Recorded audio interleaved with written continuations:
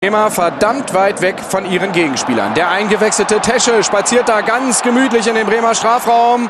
Werders Abwehr übertölpelt. Wichniarek sagt Danke. Auch er trifft wie Rosenberg doppelt.